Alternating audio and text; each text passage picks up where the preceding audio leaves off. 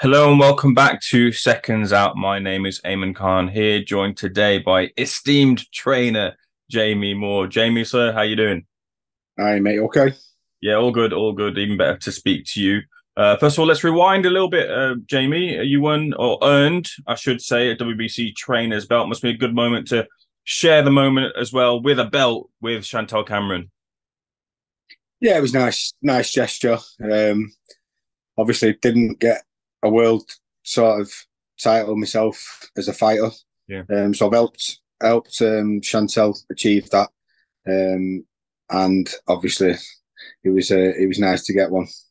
Is there any latest movement in terms of the rematch uh, that Katie Taylor maybe wants to exercise with with Chantelle Cameron? Any movement on that at all? We've not heard anything. Not heard nothing concrete. We we did hear a few weeks ago that she was sort of thinking about moving forward, or there was a question whether she'd go straight in or whether she might text around or in between. But but since then we've not heard heard anything. So um, yeah, we'll see. See what happens. What what what's the expectancy in terms of that? Do you feel that you will be heading towards a Katie Taylor rematch? Um, I think knowing sort of how competitive Katie is, and uh, and you know, um, I don't think she she would have she will take losing a fight lightly. So I think she'll she'll if if she's got anything to uh, sort of saying about I think she'd push for the rematch because um because she'll want to try and reverse it. Mm-hmm. But uh, you know, Chantelle said to me she preferred it to be at 135. I think a lot of a lot of the comments after the fight was sort of Chantelle was too big for for Katie. But the, the fact of the matter is Chantelle was 135 and only moved up to 140 to get the opportunity to box for the world title because the, the openings or the or the or the chance wasn't there at 135 because Katie was sort of tied up with the belt. So um, it wasn't that she couldn't make 135, and and you know Chantelle's took all the risk in in her last two fights in the sense that she boxed the reigning undisputed champion in McCaskill, who came down to her weight, um, and you know she didn't get the chance to win world titles at a different weight class.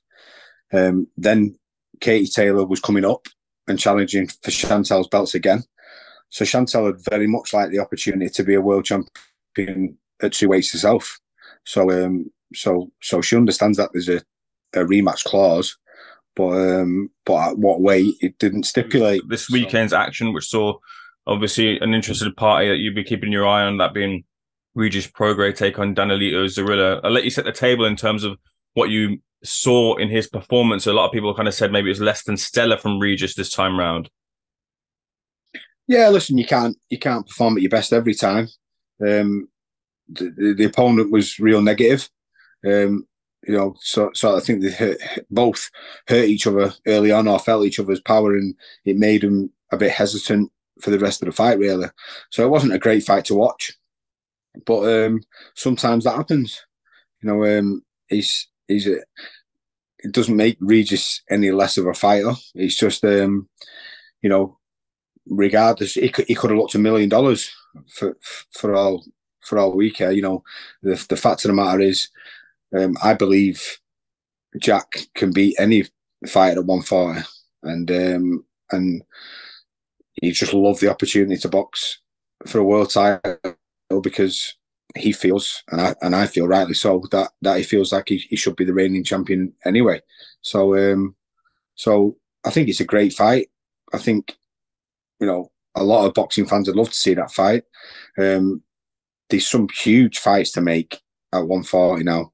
Um, you've got a lot of people coming up from lightweight, and you've got a lot of established fighters there at the minute as well. So, um, so it's exciting times for for for Jack, especially now he can sort of get momentum moving forward, and um, and hopefully over the next couple of years now he can be involved in some massive fights.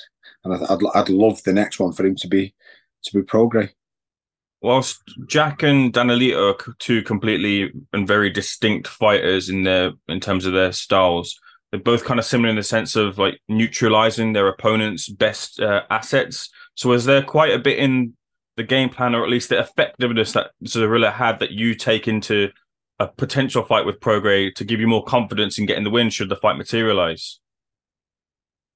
I don't know. I think there's there's a few different sort of dimensions to it. For one of them, I I think Prograis is much better against southpaws than he is uh, with, with orthodox fighters. He seems to me like he feels really comfortable um, boxing southpaws.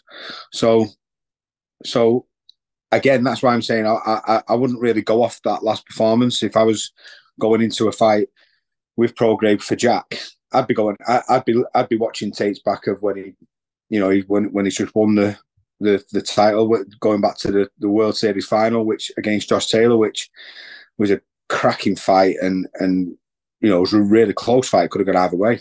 So um, so yeah, he definitely he's got a different type of style when he boxes southpaws.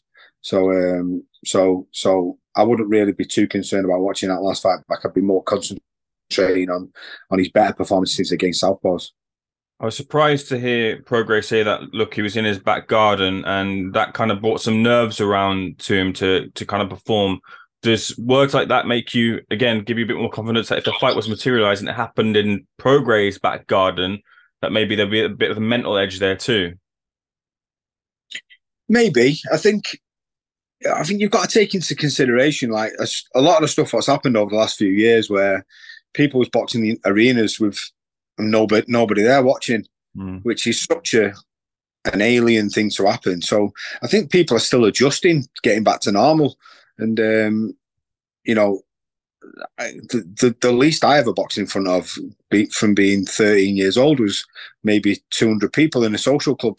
So so when you're boxing in front of 20 people for the first time in your life, you know, and then and then it happens for maybe a year. It takes a it takes a maybe a bit of a time to adjust back into to those sort of big occasions. Um, but you know, from from the reports what I read, it wasn't it didn't sell great in in New Orleans. Um, so but I understand Prograis' point of view. You know, he probably doesn't want to travel because he feels hard done by when he when he travelled to Scotland, and and he wouldn't want that sort of scenario happening again.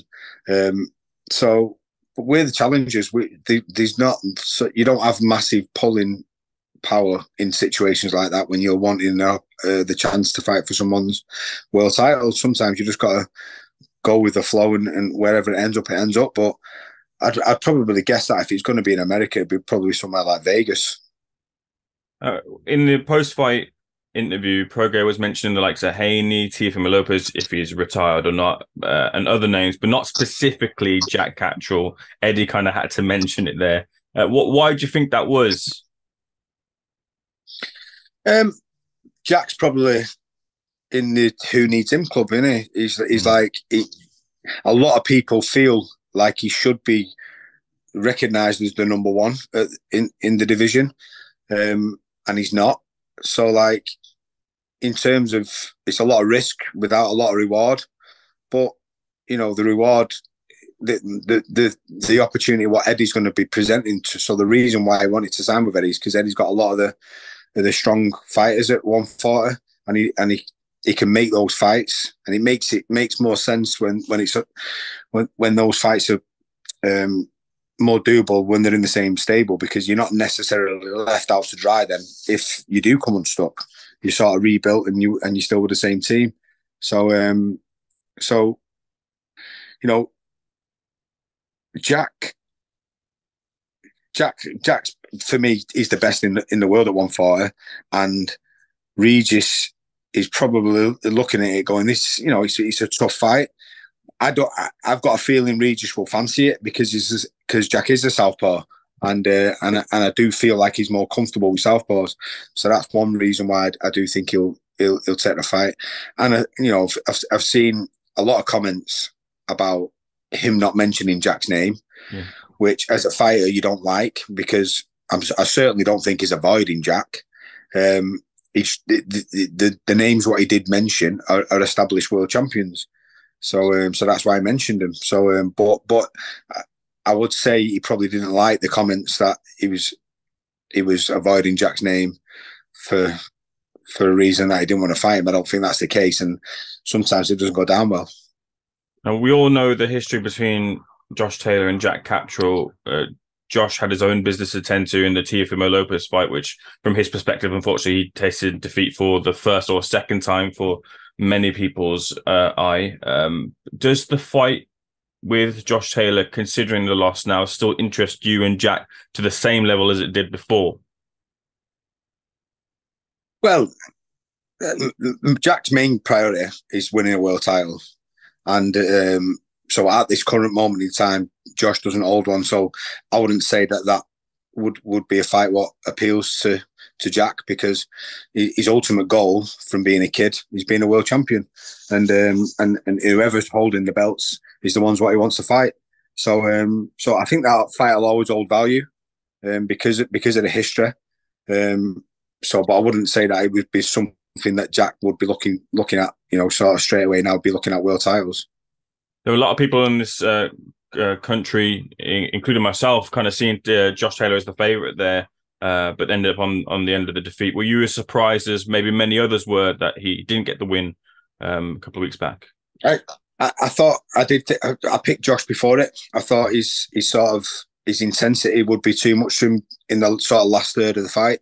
He seemed to go the other way. He sort of Teofimo sort of took over in, in the in the, the last third thought the first half of the fight was was close. Sort of it was sort of 50-50 and then as it went on, Teofimo sort of pulled away. Um, you know, hindsight's great, but just looking at that, Josh Josh is one of those fighters, a very, very good, intense pressure fighter. And um, sort of thinking about it in hindsight now, generally you don't have a long shelf life when when you box like that. I was I was similar in that sense. I was retired at 31 because you just you'd accumulate a lot of miles on your, your clock in a short space of time because everything you do is sort of high intense and it's it's hard. Everything you do is hard. So so maybe you know a combination of the weight, um, sort of miles on the clock, injuries. Maybe maybe maybe that was the reason why he couldn't sort of finish the fights like he did before because his best attributes, Josh's best attributes, um, sort of historically, I've always been that strength, the size of him, the intensity, the work rate, the tenacity, and he'd always finish the rounds really strong. You know, the, the last minute of rounds, even going on late into the fights, he'd always be finishing them strong. And he just doesn't seem to be able to do that now. And maybe it's just getting you know, father time catches up with everyone, and maybe it's just getting to that point now where he's he's um he's just maybe, there's a, few too many miles on the clock. Two final things for me, Jamie. Uh, first of all, I, believe if I'm correct here, you're uh, training uh, Dave Allen, but he's currently frustrated with his position in terms of getting a fight. Do you know what the latest is with Dave, and maybe when he's next out, he was looking for that Wardley fight? Yeah, people keep talking about the the Wardley fight. I'd love that fight for him. Um, so it has been spoken about apparently between between him and Eddie, but he's not heard nothing. So the last I heard was maybe just over a week ago, and he said he's still not heard nothing. So um, so you can imagine it is probably a, a little bit frustrating for him. Um, and you know, he's a character, Dave, and he can really fight. You know, he, he, he's he's dedicated himself now, and he's sort of got a new spring in his step. He's he's a dad, and um, he has a he has a reason. He has he's a higher, a bigger reason to to do this now, and um, he's put a real spring in his step. And um, I wish I wish it would have had him for five or six years in this sort of mood and mode. Um, but it's not too late for him. He's still he's still young enough and fresh enough at heavyweight to to sort of make a mark and do something. So I'd love that opportunity for him. It's just, um, you know, the the politics of boxing is frustrating sometimes, but he does deserve it. I think Ed. Yeah, I know. I know Eddie's given big chances in the past, but but um, you know there was there, there was things what happened during the sort of just before he, he sort of walked away from the sport where it, it wasn't Eddie's fault where where the fight fell through. We was in where you had to get locked in a hotel, and it was a fr- frustrating few days where Don King wasn't letting um, the guy who was fighting come over, and he, he never ended up boxing, and he walked away. And I think he feels like you know deserves an opportunity now for, from from Eddie. and Eddie's trying to make it by by by by the sound of it. He does want the Wardley fight to happen for for Dave. So fingers crossed it can happen for him because he deserves it. Final thing uh, for me, uh, Aqib Fiaz, look, in his last performance, he rose up off the canvas to get the uh, victory, and it feels like he's having those incremental tests as he looks forward to a big fight. A lot of kind of rumbling about this potential fight with Campbell Hatton. How serious a, a fight is that? I don't know if it's. It, I mean, I, I've heard it been mentioned in the past, but the, the different weight categories now, as, as from from what I can see, mm. um, going to be doing super featherweight, and and I think Campbell was um, originally, you know, doing lightweight, but by the look of it, he's gone up to super lightweight. So um, at least last couple of fights have been around sort of 142 mark. So so it looks like these these sort of gap creating in terms of the, the weight categories now. It would have made sense maybe when when you was looking at it no nine months ago. But by the look of it now, Campbell's just sort of filling out and growing, and um, and Aqib, he's got his nutrition better now, and and um, he's he's going boxing at one um, one thirty. So um, so there's quite a big weight discrepancy. So doesn't look like that will be happening anytime soon. Anyway. All right, then we'll leave that there. Jamie, I appreciate you. I appreciate you giving me a bit more time than I uh, asked for. So I'll leave you to enjoy the rest of your day. Um, much appreciated. Thanks for speaking to Seconds Out, sir. No worries, mate. Thank you.